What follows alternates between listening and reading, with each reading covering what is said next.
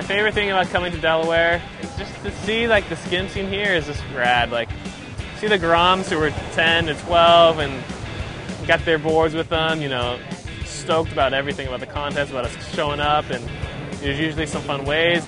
And we had the Southside Shootout, first contest of the UST in 2009.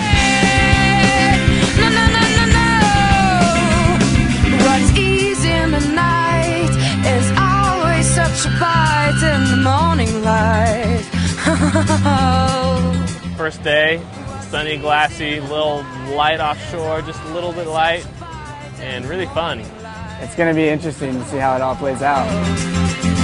and you know what I've got. Such a mixed up mind. Such a mixed up mind. You can't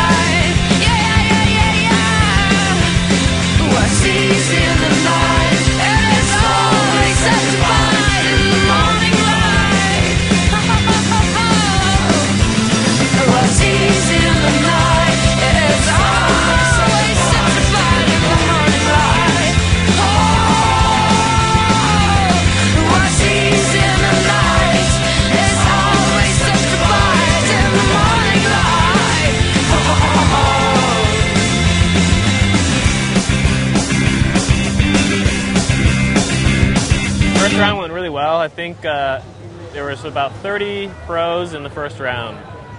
It's great to see because they, in the past there'd maybe be 16, 20, and 30 is a really good number, keeping things competitive. So right off the bat, you knew that first round wasn't going to be easy. You have to work for it. It's extremely competitive.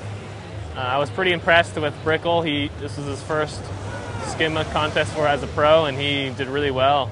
And um, also Corey Hanks, very impressive. So far, everybody's been killing it and just throwing down. It's getting pretty nerve wracking and like seeing what's going to go down in the next couple hours, you know. A lot of people got to kind of get back in the game because some good people got knocked out yesterday, but puts the pressure on, makes them want it more.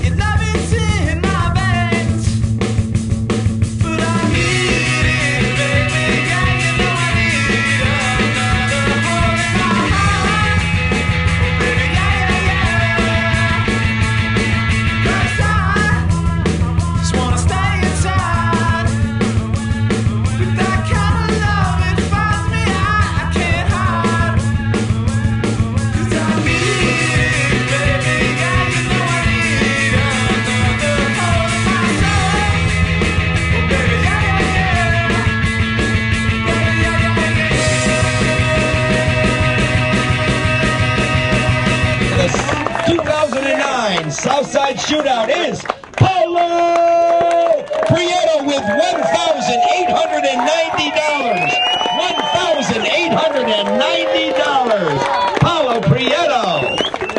Pretty much really stoked to win it. First contest of the year. Just want to carry this momentum forward for the rest of the year. Really happy. I'll see you guys in New Jersey.